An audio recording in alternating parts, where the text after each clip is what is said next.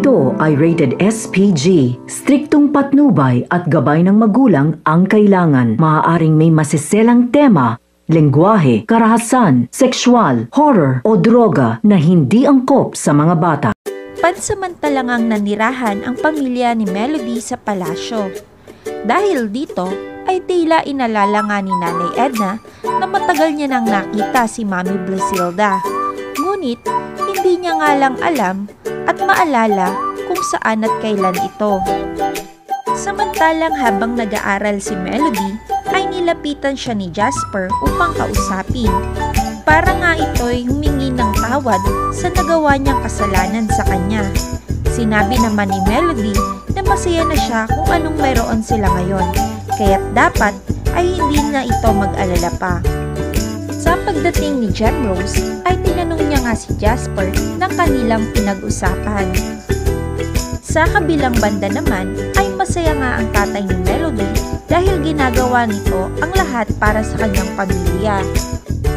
Kinagabihan ay kinumusta ni Melody ang kanyang nanay. Masayang masaya nga ito na sama-sama na silang nakatira sa palasyo upang makaiwas na sa mga isyong ginagawa sa kanilang pamilya. Sa kabilang banda naman ay nga ang magkakapatid na si Nathan, Nicole at Nina tungkol sa kanilang mga crush. Malungkot nga si Nicole dahil siya na lang ang walang crush sa kanilang magkakapatid. Agad namang sinabi ni Nina na bata pa ito at magagalit ang daddy nila.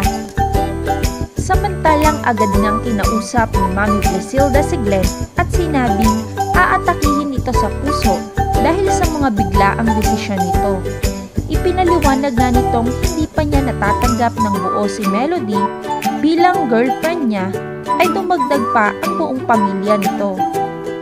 Bago pa man matulog, ay muli ngang kinamusta ni Melody ang kanyang nanay kung okay lang ba sila. Nagkausap nga rin sila na dapat ay hindi mawala ng pag-asa si Melody dahil darating ang tamang oras at magugustuhan at matatanggap din siya ni Mami Blisilda bilang girlfriend ni Glenn. Kinabukasan ay laking gulat ni Glenn nang makita si Lorraine sa palasyo. Sakto namang nag exercise sila Melody at mga kasama nito. Hindi naman nagtagal ay naghubad na nga si Lorraine ng kanyang suot upang makapagbikini na at makapag-swimming. Namang nakuha nito ang buong atensyon ni Glenn. Kung kaya naman sinabihan nila si Melody na dapat ay hindi ito magpatalo kung kaya't magpapalit ito ng kanilang bikini upang hindi nga sila matalbugan ni Lorraine. Tila rumampa nga ang bawat isa sa swimming pool na suot ang kanilang mga bikini. Kitang-kita naman ang kaseksihan ni Melody suot ang kanyang puting bikini.